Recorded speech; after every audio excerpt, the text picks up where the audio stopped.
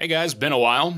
Feels like a lot's happened, even though it hasn't been that long since I uploaded. I mean, it's been a long time, but by 404 Tales standards, not that long. I've been putting more work into the next episode of Boomerverse the Internet, but I've also been very busy with IRL stuff. I know that seems to be always the case, but I'm sure it's usually the case for you all as well.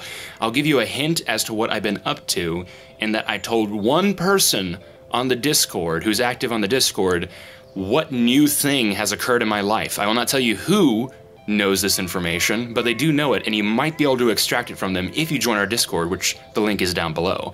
Anyways, I thought I'd start doing these uh, little sit down and talks again while working on Boomerverse the Internet.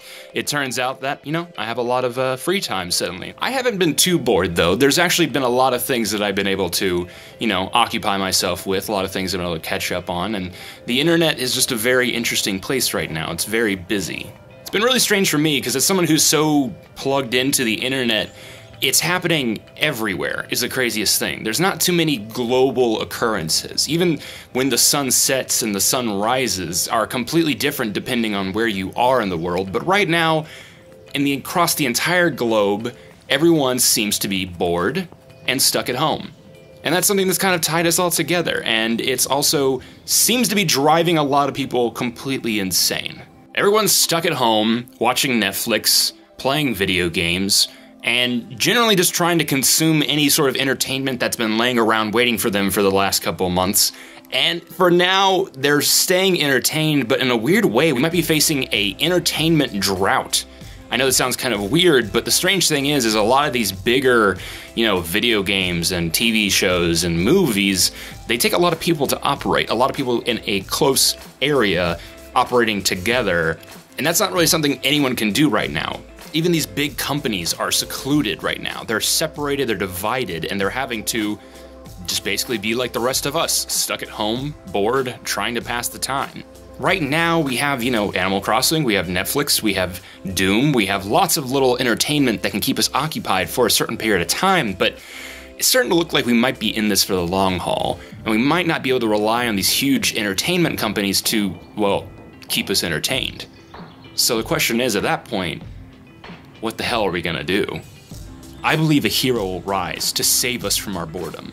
That hero is an old friend, an old ally that never really went away, but a hero that we never appreciated as much as we used to. A hero that used to be found across the internet. And that hero is.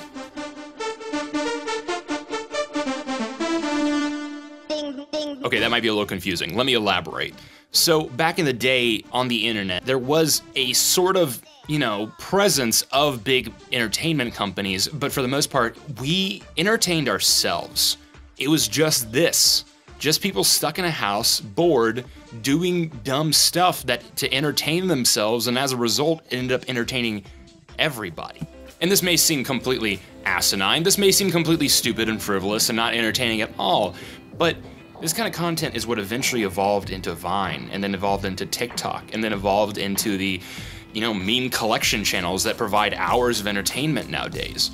These memes spiral off into higher quality memes and more produced memes and more quality content created by individuals. Those individuals are full of innovation in a way that giant corporate monoliths can't really keep up with.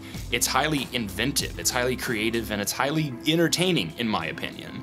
And maybe this kind of stuff isn't for you, but this side of the internet, these idiots ended up creating a wave that affected all of culture. And you might not be aware of it because it started off small with little goofballs like these guys, but eventually, eventually, it turns into something much bigger. It's a weird combination of boredom and community that pushes us to these strange and interesting new places.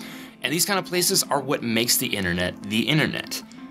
The internet entertains itself, and in a time where everyone's stuck at home and stuck online, more people will be turning to the internet than ever before. I think we're looking at a kind of a golden age, a return to form for the internet, where the internet entertains itself. Everyone kind of coming together to create these new and interesting methods of entertainment and community that might spark something new. And it could be something that's talked about for decades after this. There are more eyes, ears, and, and noses to the ground, just desperate for content, desperate for things to occupy their minds, take their minds off of what's happening in the world right now. And anyone could be that escape. It's no longer about who has the biggest budget. It's no longer about who can go to the coolest places. It's no longer about who can, you know, I don't know, lick the most toilet seats.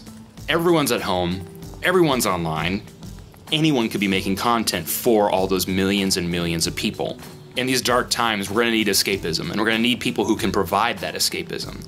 I think the big question here is are you capable of doing that? It doesn't have to be a lot. You don't have to be a super creative person or a super talented person to entertain people.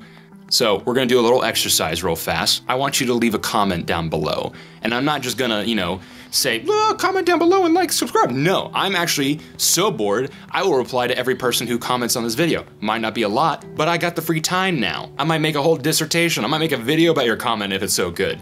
The main thing here is I want people making content with me. We need escapism. We desperately need it right now. People need to be able to get out of their homes, even if it's just through the internet. So be that person. Let's start a new golden era of the internet. That's it. I hope you have a good evening, internet.